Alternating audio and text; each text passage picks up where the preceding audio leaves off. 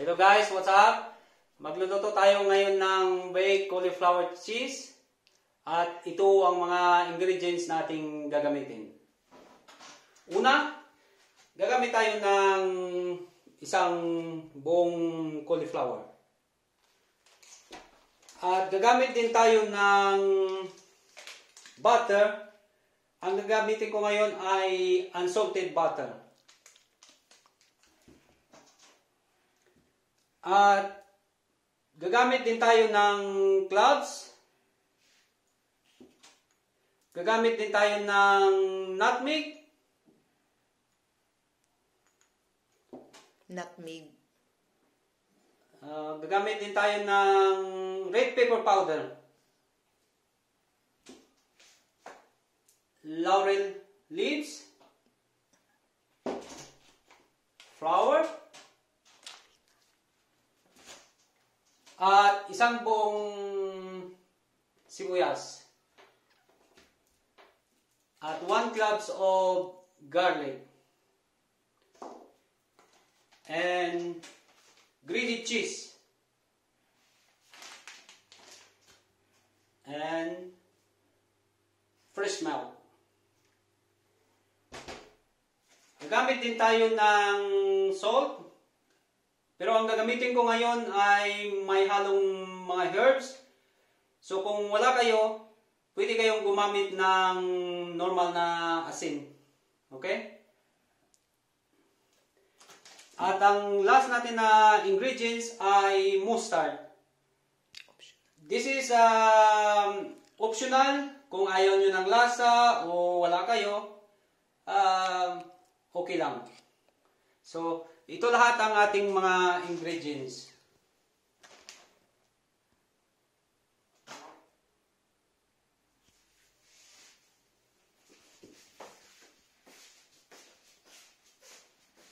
Okay, tayo ay mag-uumpisa sa ating lulutuin ngayon. Kukuha lang ako ng aking mga gamit.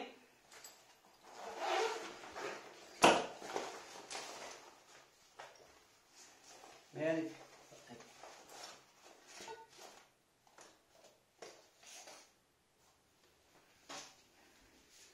Ito ang aking ginagamit na kutsilyo.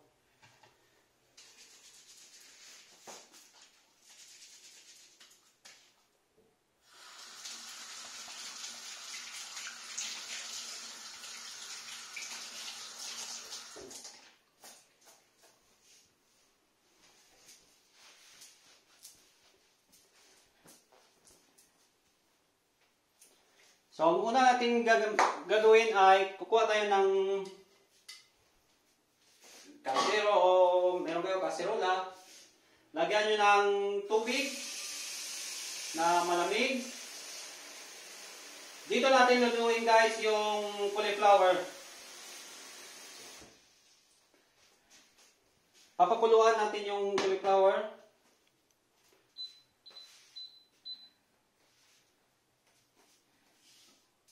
Habang nasukay niyo tayo ng tubig, linisin natin yung ating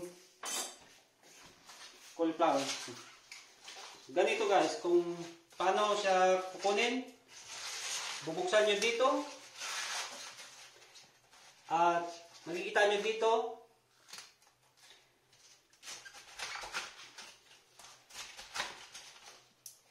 okay.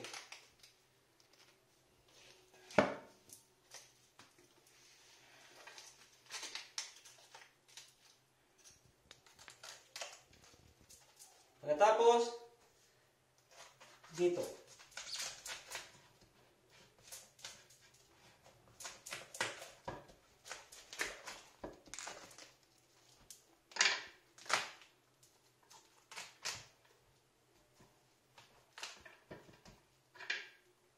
So, kukunin, uh, slice natin ng tamang sukat.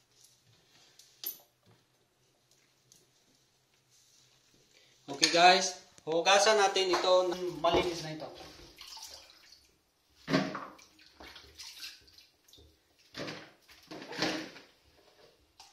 So after natin malinis, Ilalagay natin dito guys sa ating tubig na Pinakuluan.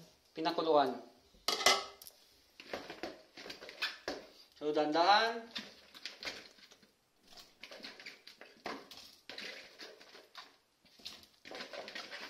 More or less 10 minutes hanggang sa maluto na yung ating cauliflower. Gagawa tayo ng sauce. Yung sauce na gagawin natin ay bechamel. Bechamel sauce. Tayo ng dalawang baso na fresh milk. Papa! Yes, baby.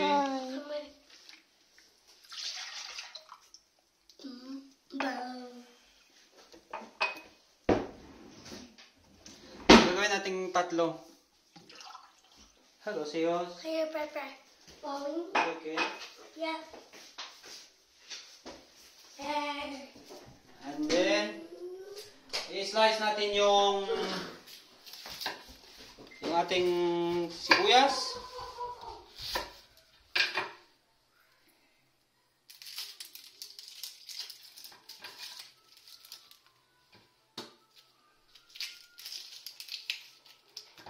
Hatiin lang natin sa ah, malaking uh, apat o apat na slice. Dalawa. Tatlo. At ilagay natin dito. Ilagay natin sa ating gatas.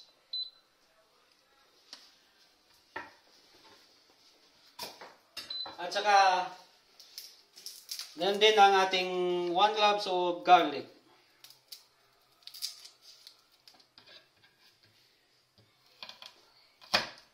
Okay. Lalagay din natin. Ang gloves natin, lagyan natin ng mga pitong piraso. Pitong piraso. Itong piraso na ano? Pitong piraso ng gloves. Cloud. Gloves.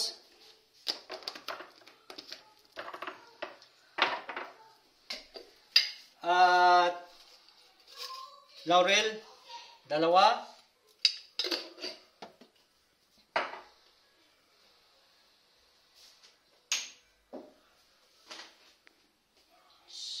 So, hintayin natin itong kumulo. Bakit natin ito nilalagyan ng mga ingredients ng onion, cloves, uh, garlic, laurel para maging masarap ang ating bechamel sauce. Kung kung nagmamadali kayo o wala kayong mga ingredients na ganito, pwede din na wala nang mga ganito. Pero para sa akin, mas masarap kung may ganito na mga... Gagawa tayo ng yung isa pa ingredients para sa bechamel. So, papainit tayo ng ating kawalay.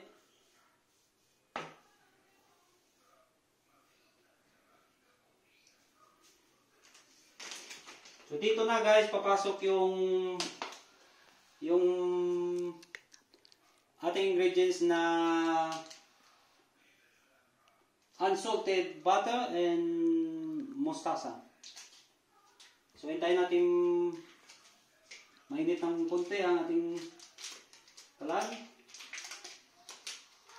So, gagamit ako guys nito. This is uh, 500 grams of unsalted butter. So, Ubusin mo. gagamit ako ng 200 grams. Ito mainit na. Ilagay natin.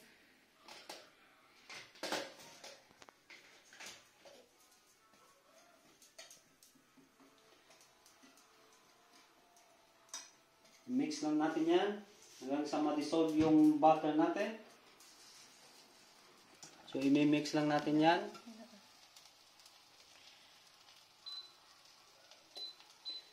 So, ihinaan natin yung apoy.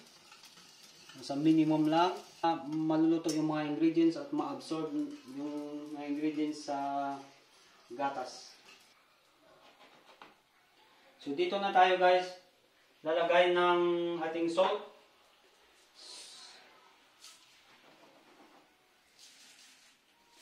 Ilagay natin ito. Dahil unsalted yung ating cheese, so more or less, lalagay tayo ng isang teaspoon na salt.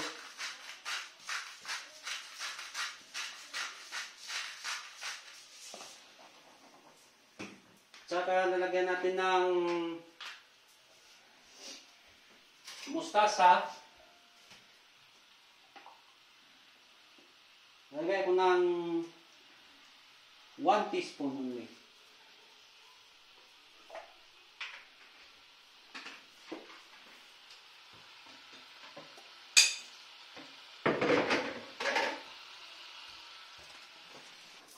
So, i-mix natin ito.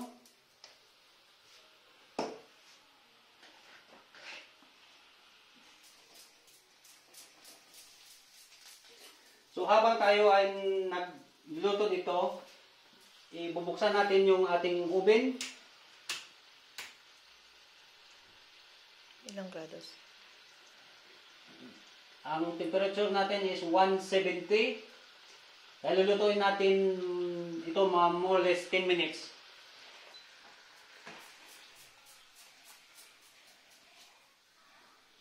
So, okay guys. Kukunin na natin yung ating gatas na pinakuluan sa mga sa gloves, cloves, sa onion, garlic, laurel.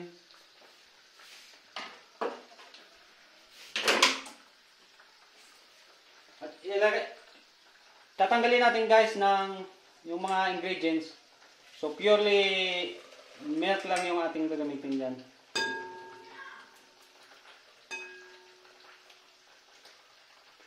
So, papalamigin na natin ng konti dito. Tsaka natin ilagay dito.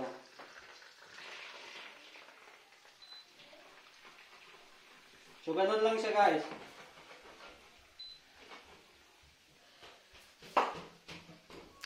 Hi! Watermelon. Watermelon. Mm, smells good. I wanted it with you. Huh? I wanted, wanted, You want to help Papa? yeah, You wanna help me here? yeah.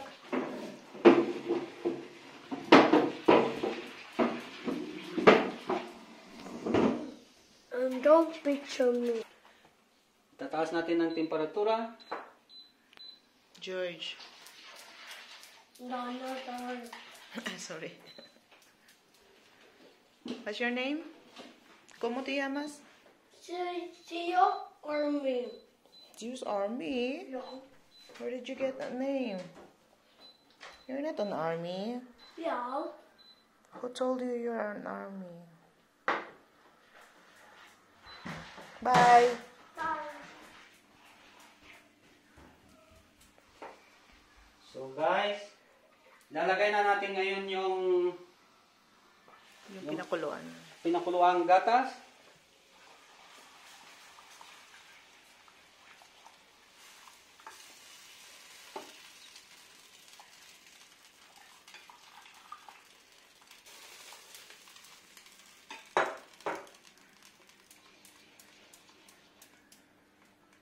Okay. Dadagdag pa tayo ng ito.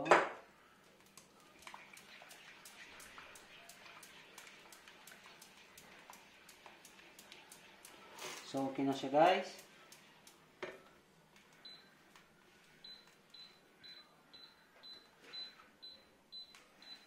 So, ang last natin na ilagay guys sa sauce na yan, itong, ano ba yung, ito, yung, ito guys, na, nutmeg. So, i-grade, ito buong buo siya. So, i-grade, i-grade natin dito sa, dito.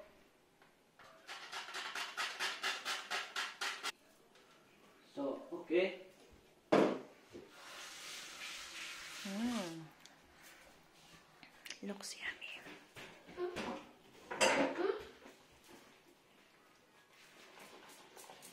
Mama. Four, five. It smells good.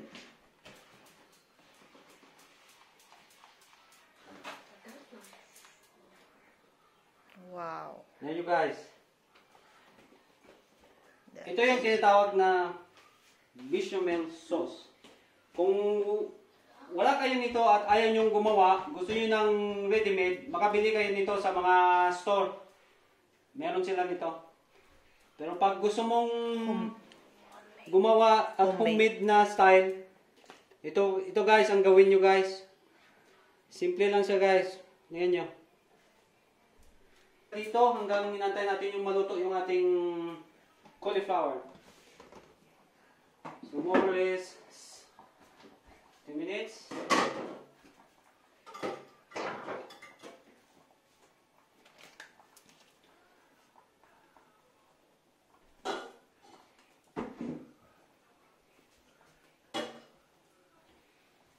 So, check lang natin konti. Okay ma.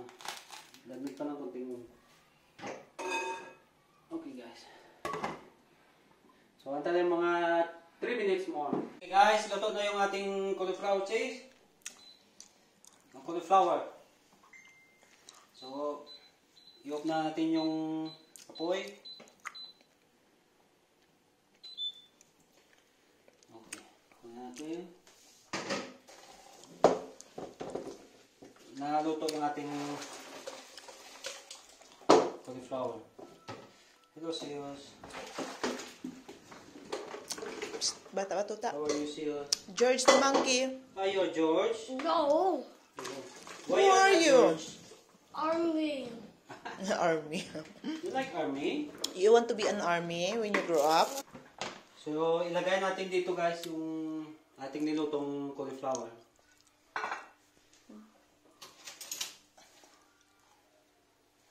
So, i-rinse natin siya guys ng maayos. So, lastly, ilalagay na natin yung Ginawang. ating ginawang homemade bechamel sauce. Okay?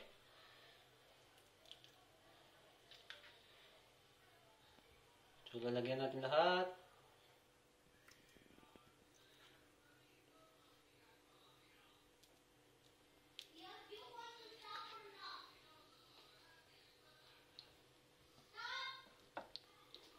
Bit lang kayo ng ingredients na para sa mga vegetarian.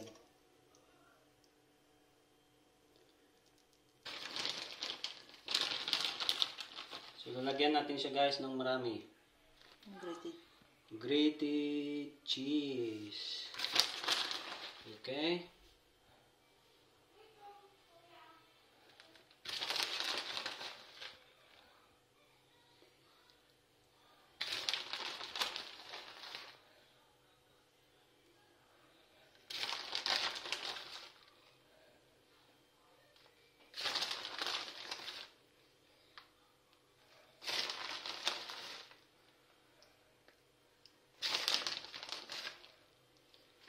Nila yan.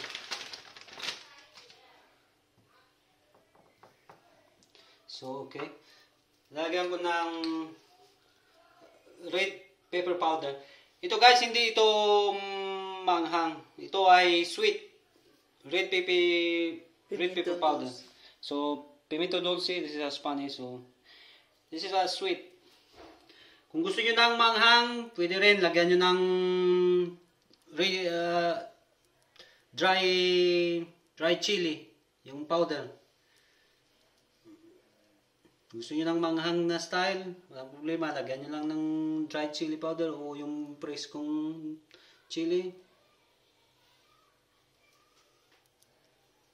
Okay. After nito, ipapasok natin sa oven. Ito usually, napainit na natin yung oven. So, more or less, ito ay 10 minutes nating lulutuin. Okay guys, aantay tayo ng Sampung. 10 minuto. After nito, makikita na natin yung resulta ng ating niluluto.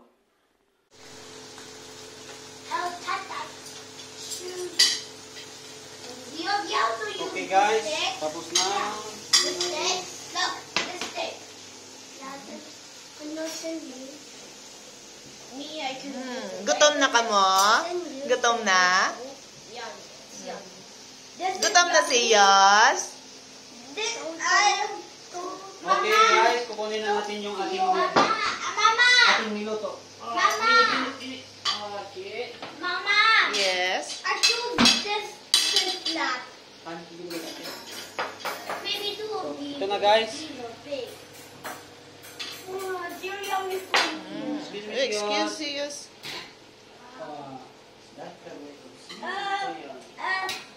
Have to pray first. We have to pray.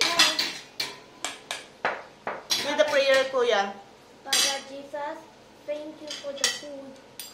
Amen. Amen. Amen. This is a nice lunch, Papa Jesus. I just like it. This, What, what you gonna say to Papa? huh? What you gonna tell to Papa? Your your cooking is yummy and and delicious. Thank you, Francis. I like and Zias, what you gonna tell to Papa? no. Your best chef ever, Papa. Oh, thank I you, want sis. you cooking. I like your cooking. I like your cooking. And it smells good. The chicken and Oh, this is that. no, this is pork. I like the pork. I like Okay. and I like what is this? Cauliflower cheese. Baked cauliflower cheese. I like bacon. Okay, get, get one. No, use this one. Then, we oh. have turrets, Papa. Gonna have that. Yes, of course. Honey. Yeah, please. Cut, cut, cut. Oh yeah, yeah, yeah, yeah, yeah. Cut, cut, cut, cut. Ipo.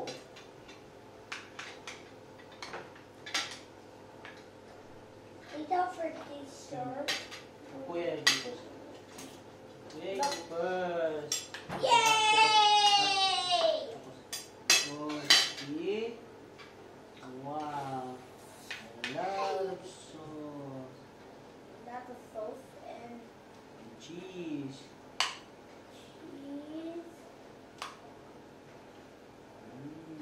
Not too much.